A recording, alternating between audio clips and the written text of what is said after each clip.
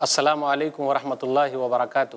الحمد للہ کفا وسلام علیہباد الدین اصطفیٰ۔ بعد، محترم ناظرین و سامعین، آئی پلس ٹی وی کی جانب سے آپ تمام حضرات کے لیے ایک نیا اور اہم پروگرام لے کر حاضر ہوئے ہیں، جس کا نام ہے درس قرآن۔ انشاءاللہ اللہ تمام آیتوں کا ترجمہ آپ سنیں گے اور مختصر سی تفسیر بھی۔ تو آئیے، آج پہلی نشست ہے، اس کے اندر سورہ فاتحہ اور اس کے بعد سورہ بقرہ، سورہ نمبر دو کی بیس آیتیں ما ترجمہ اور کچھ مختصر تفسیر آپ کے سامنے ہے۔ اللہ تعالیٰ سے دعا ہے کہ اللہ تعالیٰ ہم لوگوں کے لیے یہ پروگرام صدقہ جاریہ بنا دے اور میزان حسنات میں اس کو جگہ دے دے اور ہم لوگ قرآن کریم سے جڑ جائیں، یہ سب سے اہم چیز ہے۔ کیونکہ قرآن کریم دنیا کی وہ اہم کتاب ہے جو لوگوں کے لیے دنیا کے اندر سربلندی ہے، عظمت کا ذریعہ ہے، قبر کے اندر بھی اس کا فائدہ ہے اور آخرت کے میدان میں تو فائدہ ہے ہی۔ کوئی ذکر نہیں کر سکتا۔ قرآن کریم ایک ایسی کتاب ہے کہ جس نے بھی اس کو اپنایا، وہ دنیا کے اندر آگے بڑھ گئے۔ علامہ اقبال نے کہا، وہ زمانے میں معزز تھے مسلمہ ہو کر، وہ زمانے میں معزز تھے مسلمہ ہو کر، اور ہم خار ہوئے تاریخ قرآن ہو کر۔ تو آئیے قرآن کریم سے جڑیے، اس کا بڑا فائدہ ہے، بڑا ثواب کا کام ہے۔ تو آج سورہ فاتحہ، سورہ نمبر ایک، اس کے بعد سورہ بقرہ، سورہ نمبر دو کی بیس آیتیں ہیں۔ اعوذ باللہ من الشیطان الرجیم بسم اللہ الرحمن الرحیم الحمد للہ رب العالمین تمام تعریفیں اللہ تعالیٰ ہی کے لیے ہے، جو جہان کا رب ہے. الرحمن الرحیم، نہایت مہربان، رحم کرنے والا ہے.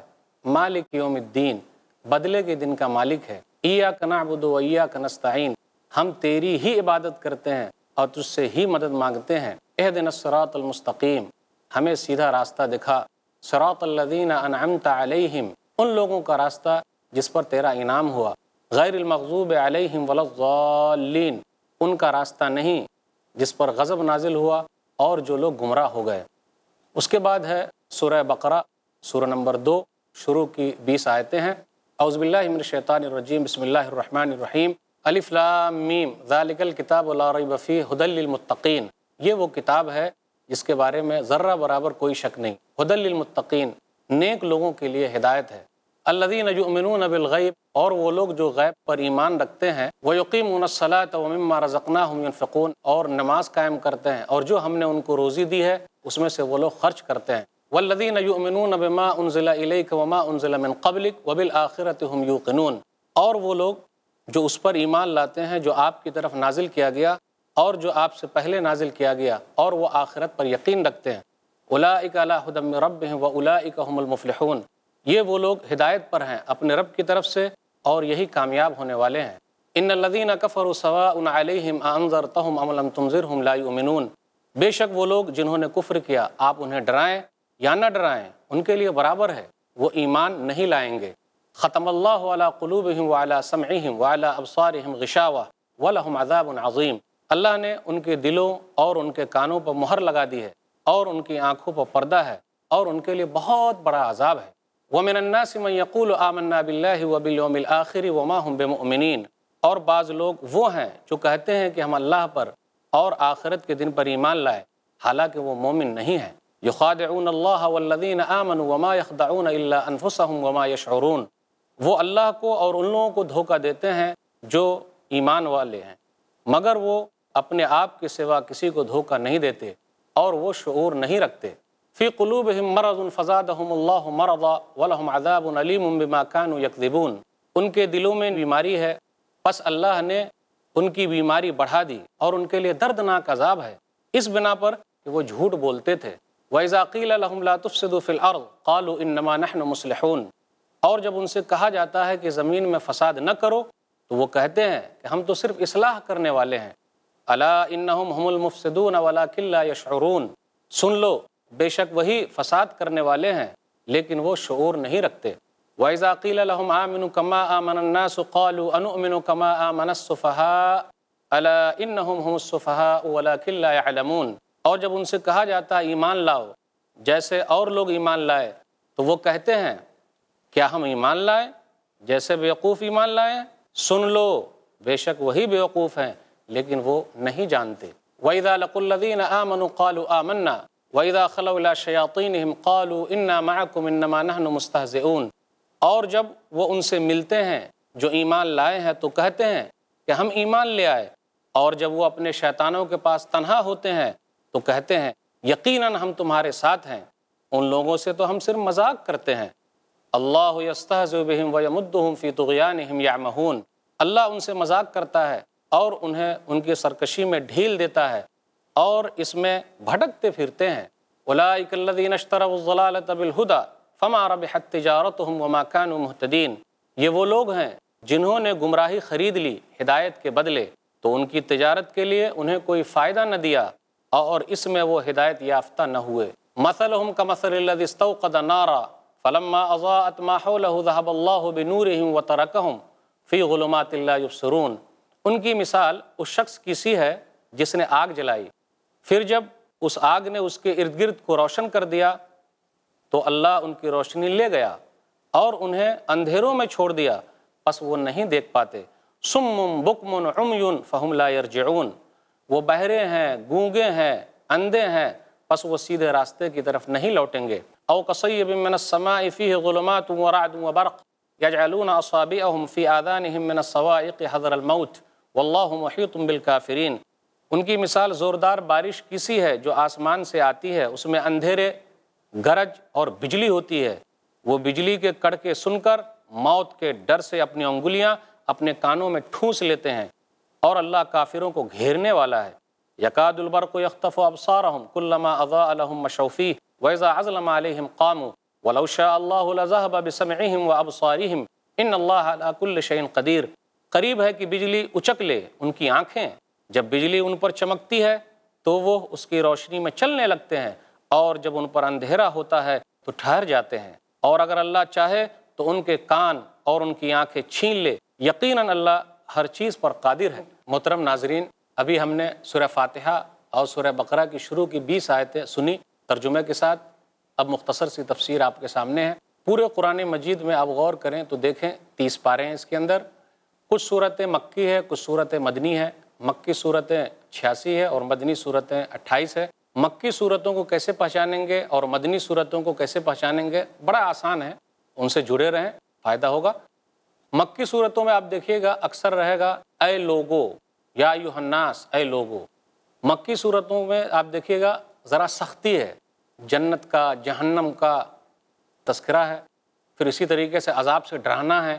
پرانے قوموں کے واقعات ہیں، قوم سمود، قوم عاد قوم لوت قوم شعیب، فرعون، ان لوگوں کا تذکرہ ہے۔ تو جہاں بھی نام آ جائے تو آپ سمجھ جائیے یہ مکی سورہ ہے۔ پھر اسی طرح مدنی صورتوں کو کیسے پہچانیں گے، کیسے جانیں گے؟ جاننا وہ بھی آسان ہے۔ اکثر مدنی صورتوں میں یہ رہے گا، یا ایوہ الذین آمنو، اے ایمان والو۔ تو جہاں بھی آ جائے، یا ایوہ الذین آمنو، آپ سمجھ جائیں کہ ہم مدنی صورت میں چل رہے ہیں۔ اور مکی سورہ اسے کہتے ہیں جو ہجرت سے پہلے نازل ہوئی اور مدنی صورت وہ ہے جو ہجرت کے بعد نازل ہوئی۔ مدنی صورت کا انداز بالکل آسان ہے، بالکل آسان۔ اس کے اندر آپ کو جملے بڑے آسان ملیں گے۔ احکامات ہیں جیسے روزے کے مسائل، نماز کے مسائل، حج کے مسائل، حیض کے مسائل، اعتکاف کے مسائل، جتنے بھی مسائل ہیں آپ کو مدنی صورت میں مل جائیں گے۔ تو آئیے، پہلی سورہ ہے سورہ فاتحہ۔ اس کو ہم اور آپ لیتے ہیں۔ سورہ فاتحہ یہ مکی سورہ ہے۔ اس کے اندر سات آیتیں ہیں۔ کچھ لوگوں نے یہ کہا کہ بسم اللہ الرحمن الرحیم پہلی آیت ہے۔ یہ سورہ جو ختم ہو رہی ہے اس طریقے سے کہ ولضالین ساتویں آیت ہے۔ تو پہلی آیت بسم اللہ الرحمن الرحیم اور ولضالین ساتویں آیت ہے۔ کچھ لوگوں نے یہ کہا کہ نہیں سراط الدین انعمت علیہم چھٹی آیت ہے اور غیر المغضوب علیہم ولضالین یہ ساتویں آیت ہے۔ تمام صورتوں کے شروع میں صرف سورہ توبہ کو چھوڑ کر جو سورہ نمبر نو ہے بسم اللہ الرحمن الرحیم ہے، اس کو پڑھنا ہے۔ لیکن مستقل بسم اللہ الرحمن الرحیم سورہ نمل، سورہ نمبر ستائیس میں آیت نمبر تیس ہے۔ ان نحو من سلیمان و ان بسم اللہ الرحمن الرحیم، کیونکہ یہ سلیمان علیہ السلاۃ والسلام کی طرف سے ہے اور بسم اللہ الرحمن الرحیم۔ تو پتہ یہ چلا، جب ہم اور آپ کسی کو خط لکھیں، تو خط کے شروع میں، کسی چیز کے شروع میں جب ہم کسی کو بھیج رہے ہیں، تو بسم اللہ الرحمن الرحیم لکھیں۔ سورہ فاتحہ کی بڑی فضیلت ہے، یہ ام القرآن ہے، قرآن کی ماں ہے۔ یہ قرآن عظیم ہے، یہ شفا ہے، پھر اسی طرح سے یہ رقیہ ہے، جھاڑ پھونک بھی ہے۔ اس کی فضیلت کا کیا کہنا؟ سات بار بار دہرائی جانے والی آیتیں ہیں۔ اللہ تعالیٰ نے فرمایا، سورہ حجر سورہ نمبر پندرہ، آیت نمبر ستاسی، ولقد آتینہ کا سب من المسانی والقرآن العظیم ہم نے آپ کو سات بار بار دہرائی جانے والی آیتیں دی ہے اور قرآن عظیم دیا ہے۔ اس سورہ کو سلاد بھی کہتے ہیں یعنی دعا کہتے ہیں۔ تو اس سورہ کی بڑی فضیلت ہے، اس کا بڑا مقام ہے، اس کا بڑا مرتبہ ہے۔ ایک حدیث کے اندر آیا، صحیح مسلم، کتاب الصلاح کتاب نمبر چار، باب نمبر گیارہ، باب وجوب قراءت الفاتحہ فی کل رکعہ، حدیث نمبر تین سو پچانوے۔ من صلی صلاطن جس نے نماز پڑھی، لم یقرا فیہا بے ام القرآن فہی خداجن اور اس نے قرآن کی ماں کو نہیں پڑھا، فہی خداجن تو وہ ناقص ہے، غیر تمام، مکمل نہیں ہے۔ ناظرین کرام، ضروری ہے کہ ہر نماز کی ہر رکعت میں ہم اور آپ سورہ فاتحہ کو پڑھیں۔ اس کا بڑا مقام ہے، اس کا بڑا مرتبہ ہے، اس لیے اس کا خیال رکھیے گا۔ نبی صلی اللہ علیہ وسلم کی جو حدیث ہے اور آگے بھی ہے، پوچھا گیا ابو حرار رضی اللہ تعالیٰ عنہ سے کہ ہم لوگ امام کے پیچھے ہوتے تو کیسے پڑھیں؟ تو کہا انہوں نے، اقرا بہا فی نفسک، اپنے دل میں پڑھ لو۔ یہ حدیث قدسی ہے۔ نبی صلی اللہ علیہ وسلم نے سورہ فاتحہ کی فضیلت کو بیان کرتے ہوئے کہا، اللہ تعالیٰ فرماتا قسم تو صلاح بینی و بین عبدی، کہ میں نے سلاد کو میرے اور اپنے بندے کے درمیان تقسیم کر لیا، نصفین، آدھا آدھا بانٹ دیا ہے۔ ولی ابدی ماسال اور میرے بندے کے لیے وہ ہے جو وہ سوال کرے۔ جب بندہ کہتا ہے الحمد رب العالمین، قال اللہ تعالی، حمدنی ابدی تو اللہ تعالیٰ نے کہا کہ میرے بندے نے میری تعریف کی۔ وَإِذَا قال الرحمن الرحیم جب بندہ کہتا ہے، الرحمن الرحیم تو اللہ تعالیٰ فرماتے اسنا علیہ عبدی کی میرے بندے نے میری ثنا بیان کی۔ جب بندہ کہتا ہے، مالک یوم الدین، تو اللہ تعالیٰ فرماتے ہیں، مجدنی ابدی میرے بندے نے میری تمجید کی۔ وقال مرتن فوضا علیہ ابدی اور کبھی کہا کہ میرے بندے نے اپنا معاملہ میرے سپرد کر دیا۔ جب بندہ کہتا ہے ایا کنابد و ایا کنستعین ہم تیری ہی عبادت کرتے ہیں اور تجھ سے ہی مدد مانگتے ہیں، تو اللہ فرماتے ہیں حاضہ بینی و بین ابدی ول ابدی ماسال یہ میرے لیے ہے اور میرے بندے کے درمیان ہے، اور میرے بندے کے لیے وہ ہے جو اس نے سوال کیا۔ وَإِذَا قَالَ اِهْدِنَ الصِّرَاطَ الْمُسْتَقِيمِ صِرَاطَ الَّذِينَ أَنَمْتَ عَلَيْهِمْ غَيْرِ الْمَغْضُوبِ عَلَيْهِمْ وَلَا اللہ فرماتے ہیں حَاذَا لِعَبْدِي وَلِعَبْدِ مَا سَأَلَ۔ یہ میرے بندے کے لیے ہے اور میرا بندہ جو مانگے وہ اس کو مل جائے گا۔ تو اس کی بڑی فضیلت ہے، بڑا مقام ہے۔ تو آئیے پہلے لیتے ہیں، بسم اللہ الرحمن الرحیم۔ اس سے پہلے اتلو، میں تلاوت کرتا ہوں اقراؤں میں پڑھتا ہوں۔ تو بسم اللہ الرحمن الرحیم کی بڑی فضیلت، بڑا مقام۔ کھاتے وقت بھی بسم اللہ پڑھیے، ہمیشہ بسم اللہ پڑھتے رہیے۔ پھر اسی طریقے سے اگر کوئی آدمی اپنی بیوی سے ملتا ہے تو وہ بھی بسم اللہ پڑھ کے ملے۔ اس کی بڑی فضیلت، اس کا بڑا مقام ہے، اس کا بڑا مرتبہ ہے۔ کہا جا رہا ہے سورہ فاتحہ کے اندر اہم چیزیں ہیں۔ پہلے اللہ تعالیٰ کی تعریف الحمد رب العالمین۔ تمام تعریف اللہ تعالیٰ کے لیے جو جہان کا رب ہے۔ تو پہلے تعریف کی گئی، رب، اللہ رب ہے، ہر چیز کا انتظام کرنے والا ہے۔ عالمین، ہر چیز کا عالم۔ غور کیجیے، ہر چیز کی دنیا، انسانوں کی دنیا، فرشتوں کی دنیا پھر اسی طریقے سے جناتوں کی دنیا، جانوروں کی دنیا، چرند پرند کی دنیا، اللہ تعالیٰ ہر ایک کے لیے انتظام کرتا ہے اس کے حساب سے۔ اب آپ ہی بتائیے، اگر چونٹی آپ کو دے دی جائے کہ آپ چونٹی کا انتظام کر دیجیے کھانے کا، تو کیا ہم اور آپ کر پائیں گے؟ بالکل نہیں کر پائیں گے۔ اگر ہاتھی کے لیے کہا جائے جی ہاتھی کا انتظام آپ کیجیے کھانے کا، نہیں کر پائیں گے۔ مچھلی کے لیے انتظام کیجیے تو نہیں کر پائیں گے۔ یہ سب انتظام کون کرتا؟ اللہ کرتا۔ ہے ہاتھی کو ہاتھی کے حساب سے چونٹی کو چونٹی کے حساب سے، تو وہ جہان کا رب ہے۔ بہت رحم کرنے والا مہربان ہے۔ اللہ تعالیٰ کی رحمت دنیا میں عام ہے۔ جو بندہ اللہ کو مانتا ہے، اللہ اس کو بھی دے رہا ہے۔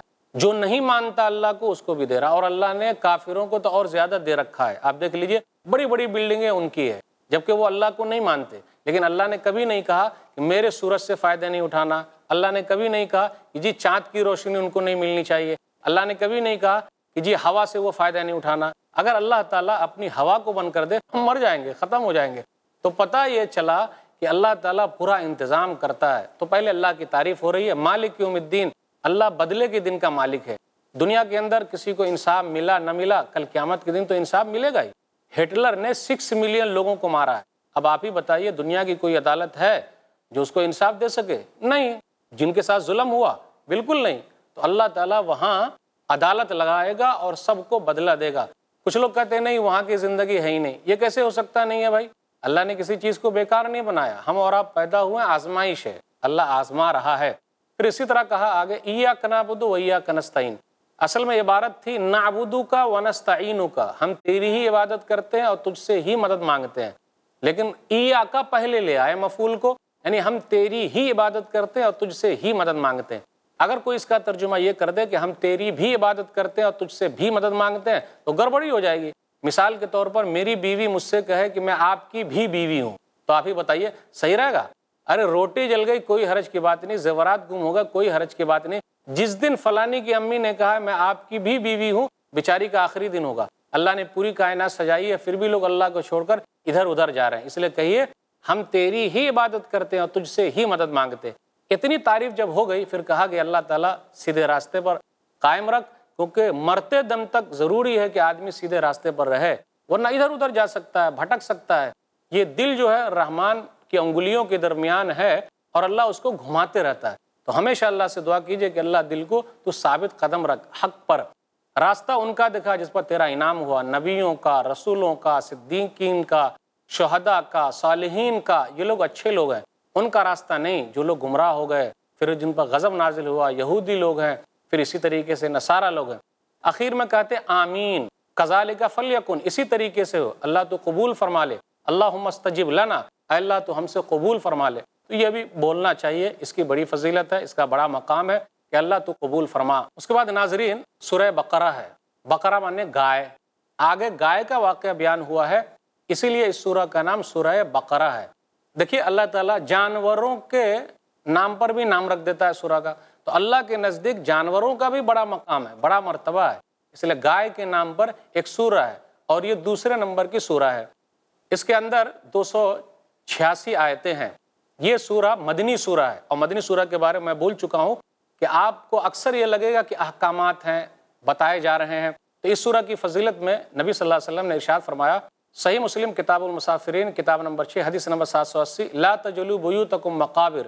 ان الشیطان ینفر من البیت الذی تقرأ فیہ سورة البقرہ کہ اپنے گھروں کو قبرستان نہ بناؤ کیونکہ شیطان اس گھر سے بھاگ جاتا ہے جس میں سورہ بقرہ کی تلاوت ہو۔ آج کل لوگ کہتے ہیں کہ مولی صاحب، میرے گھر میں بڑی پریشانی۔ شیطان ہے، بیٹھا ہوا ہے، جنات ہے۔ کہیں کہیں پر آپ یہ بھی سنے ہوں گے کہ لوگ گھر کو نہیں خریدتے۔ ارے بھائی، اس گھر میں شیطان ہے، جنات ہے، کیسے ہم خرید لیں؟ اور کبھی کبھی وہ سستے میں بھی مل جاتا ہے۔ سورہ بقرہ وہاں جا کے پڑھیے، سب شیطان بھاگ جائے گا۔ کچھ لوگ یہ بھی بولتے ہیں کہ مولی صاحب، گھر کو بدل دینا چاہیے، صحیح نہیں ہے، کیونکہ اس گھر میں برکت ہی نہیں ہوتی۔ یہ اللہ نے برکت رکھی ہے بھائی۔ اللہ ایسا کرے گا، کوئی دوسرا آدمی ایسا کر ہی نہیں سکتا ہے۔ تو نفع نقصان کا مالک اللہ ہے۔ کسی اور کے پیچھے مت پڑے رہیے۔ آپ سورہ بقرہ کی تلاوت کیجیے ختم۔ سب جنات، شیطان سب بھاگ جائیں گے۔ جادوگروں کی جادوگری نہیں چلے گی۔ الف لام میم، ذالک الکتاب لا ریب فی الف لام میم حروف مقطعات میں سے ہے۔ اس کا معنی اللہ تعالیٰ ہی کو معلوم ہے۔ اس کتاب کے بارے میں ذالکہ کا لفظ آیا۔ ذالکہ معنی دور کے لیے ہوتا ہے۔ حاضہ ہونا چاہیے نا یہ، لیکن دور۔ دور کا لفظ اس لیے ذکر کیا، ارے اس کتاب میں تو کوئی شک ہے ہی نہیں۔ تو چاہے دور کا لفظ استعمال کرے یا نزدیک کا لفظ استعمال کرے، کوئی حرج کی بات نہیں۔ تو شروع کی پانچ آیتوں میں نیک لوگوں کا تذکرہ ہو رہا ہے کہ نیک لوگ کون ہیں۔ نیک لوگ وہ ہیں جو غیب پر ایمان رکھتے غیب اسے کہتے جس کو ہم اور آپ نہیں دیکھتے، جیسے اللہ کو نہیں دیکھا لیکن ایمان ہے۔ اتنا ایمان مضبوط ہونا چاہیے کہ دیکھنے کے بعد لوگوں کا ایمان مضبوط ہوگا، لیکن ہمارا بغیر دیکھے مضبوط ہے۔ قبر میں کیا ہوگا، حشر میں کیا ہے، نشر کیا ہے، پھر اسی طرح فرشتے کیا ہیں، کس ٹائپ کے ہیں، ہم نہیں جانتے، لیکن ایمان رکھتے ہیں، نماز قائم کرتے ہیں، پھر زکوٰۃ ادا کرنے والے ہیں۔ تو اللہ تعالیٰ نے ذکر کیا ان آیتوں میں، شروع کی پانچ آیتوں میں نیک لوگوں کے بارے میں، کہ یہ لوگ غیب پر یقین رکھتے ہیں، پھر اسی طرح نماز قائم کرتے ہیں، زکوٰۃ ادا کرتے ہیں اور جو کتابیں اتری اس پر یقین رکھتے ہیں، ایمان رکھتے ہیں اور آخرت پر یقین رکھ رہے ہیں، یہی لوگ کامیاب ہونے والے ہیں۔ اس کے بعد تذکرہ ہو رہا دو آیتوں کے اندر، چھ اور سات کے اندر، ان کافروں کے بارے میں جن پر مہر لگ گئی۔ بھائی، بڑی محنت ہوئی، بہت سمجھایا گیا، لیکن سمجھے ہی نہیں۔ جیسے ابو لہب ہے، پھر اسی طریقے ابو جہل ہے، جو اس امت کا فرعون ہے۔ نبی صلی اللہ علیہ وسلم نے بڑی محنت کی۔ اتبا ہے، شیبہ ہے۔ آپ صلی اللہ علیہ وسلم کی خواہش تو یہی تھی کہ سب لوگ مسلمان ہو جائیں، لیکن ایسا ہوا نہیں۔ آپ کی خواہش تو ہے۔ تو جب حجت قائم ہو جائے، اس کے بارے میں کہا گیا کہ آپ ڈرائیں، نہ ڈرائیں، کچھ بھی ہونے والا نہیں، ان کے لیے دردناک عذاب ہے۔ اس کے بعد آیت نمبر آٹھ سے آیت نمبر بیس تک بارہ آیتوں میں اللہ تعالیٰ نے منافقوں کا تذکرہ کیا ہے۔ منافقین کون ہے بھائی، زبان سے کچھ ظاہر کرے اور دل میں کچھ رکھے۔ منافق لوگ مکہ میں نہیں پیدا ہوئے، مدینہ میں پیدا ہوئے۔ منافقوں کا سردار عبداللہ بن عبی بن سلول تھا۔ کیونکہ مدینہ والے تیاری کر چکے تھے کہ جی ان کو ہی سردار بنانا ہے۔ اور نبی صلی اللہ علیہ وسلم بے تاج بادشاہ ہو کر مدینہ کے اندر آئے اور لوگوں نے آپ کو سردار بنا لیا۔ تو اس نے ظاہری طور پر اسلام قبول کیا، لیکن دل سے اسلام کے خلاف تھا وہ۔ انہی لوگوں کا تذکرہ ہو رہا ہے کہ وہ لوگ دھوکہ دیتے ہیں۔ ارے دھوکہ کس کو دیں گے؟ اپنے آپ کو دھوکہ دے رہے ہیں۔ ان کی نشانی یہ بیان کی گئی کہ ان کے دلوں میں بیماری ہے یعنی نفاق ہے، کفر ہے، وہ لوگ جھوٹ بولتے ہیں۔ پھر اسی طرح وہ لوگ کہتے ہیں کہ ہم اصلاح کرنے والے ہیں۔ کیا اصلاح کرنے والے ہیں؟ کچھ بھی اصلاح کرنے والے نہیں ہیں، بلکہ یہ لوگوں کے درمیان تفریق ڈالنے والے ہیں، شک پیدا کرنے والے ہیں اور اللہ تعالیٰ کی آیتوں کا انکار کرنے والے ہیں۔ تو نفاق کی بھی دو شکلیں بنتی ہے ایک تو اعتقادی طور پر یعنی آدمی زبان سے اسلام کو ظاہر کرے، لیکن دل سے اسلام کے خلاف ہو۔ اگر اسی پر وہ مر گیا تو وہ جہنم میں جائے گا۔ کچھ لوگ ایسے ہیں جن کا عملی نفاق ہوتا ہے۔ جیسے منافقوں کی کچھ نشانی بیان کی گئی کہ وہ جھوٹ بولتے ہیں، پھر اسی طرح امانت رکھی جائے تو خیانت کرتے ہیں۔ پھر اسی طرح ان کے بارے میں یہ آیا کہ وہ اگر لڑائی جھگڑا کرے تو گالی گلوچ پر اتر آتے ہیں۔ یہ ان کے بارے میں ذکر ہو رہا ہے۔ اللہ تعالیٰ نے ان لوگوں کی مثال بیان کی کہ یہ لوگ ایسے ہیں۔ ان کے بارے میں یہ آیا، گویا کہ بارش نازل ہوتی ہے اور بارش جب ہوتی ہے، اس سے پہلے بجلی چمک رہی ہے۔ تو بجلی جب چمکتی ہے تو یہ ایمان کی روشنی ہے۔ تو بجلی کی چمک کو ایمان کی روشنی سے تعبیر کی اور جیسے بجلی کی چمک ختم ہو گئی تو اب اندھیرا ہو گیا۔ تو کیسے آگے چلیں گے؟ نہیں چل پائیں گے۔ تو اندھیرے میں وہ لوگ آگے نہیں چل پا رہے۔ تو ان کے اندر شک ہے۔ وہ لوگ ادھر ادھر سوچ رہے ہیں، غور کر رہے ہیں، فکر کر رہے ہیں، لیکن ان کو کوئی چیز حقیقت میں مل نہیں رہی۔ تو اللہ نے مثال دے کر یہ سمجھایا کہ یہ لوگ شک میں پڑے ہوئے ہیں۔ ان کو چاہیے کہ وہ شک کو دور کرے اور یقین پیدا کریں۔ تو اللہ تعالیٰ نے ان آیتوں میں ان کا تذکرہ کیا۔ ایک مثال اور بھی ان لوگوں کے لیے دی کہ راستہ ان کو ملا ہے، ایمان کا راستہ مل گیا، لیکن ان لوگوں نے کفر کے راستے کو چنا یعنی چھوڑ دیا اسلام کے راستے کو، تو ان کے لیے گھاٹا ہے۔ اللہ تعالیٰ ہر چیز پر قادر ہے اور اللہ تعالیٰ دیکھ رہا ہے۔ اس لیے میرے بھائیوں، ناظرین کرام، سامعین، ہمارے دلوں میں اگر اسلام کے تعلق سے کچھ بھی ادھر ادھر کی بات ہے تو اس کو نکال دیں اور قرآن کریم سے جڑ جائیں۔ تھوڑا سا پیغام آپ لوگوں کے لیے یہی ہے کہ چند آیتیں پڑھیں، اپنی زندگی میں لائیں اور کم سے کم قرآن کریم کو ایک مرتبہ تو آپ ترجمے کے ساتھ ختم کیجیے۔ لگے رہیے، کوشش کیجیے، آپ دیکھیے اس کے اندر بڑی برکت ہے، گھر کے اندر بھی بڑا فائدہ ہے، اپنے اندر بھی بڑا فائدہ ہے۔ جتنا زیادہ محنت کریں گے اس کا ثواب ملے گا۔ ہم اور آپ دنیا کے اندر اسی لیے آئے ہیں کہ ہم زیادہ سے زیادہ نیکیاں جمع کریں۔ یہ نیکیاں جمع ہو جائے تو ہمارا فائدہ آخرت میں بہت ہونے والا ہے۔ اس لیے آپ لوگوں سے میری گزارش ہے کہ آپ قرآن کریم سے جڑیں، اپنی زندگی میں قرآن کریم کو لائیں اور اس کا درس رکھیں، اس سے جڑیں۔ نوجوانوں میں بھی یہ چیز آئے، بوڑھوں میں بھی، بزرگوں میں بھی، بچوں کے اندر بھی۔ اگر ہم اور آپ قرآن کریم سے جڑ جائیں گے تو بڑا فائدہ ہوگا۔ اللہ تعالیٰ سے دعا ہے کہ اللہ تعالیٰ ہم لوگوں کو قرآن سے جوڑ دے۔ آمین واخر دعوانا الحمد للہ رب العالمین۔ وصلی اللہ علیہ نبینا محمد و علیہ وصحمین السلام علیکم ورحمۃ اللہ وبرکاتہ۔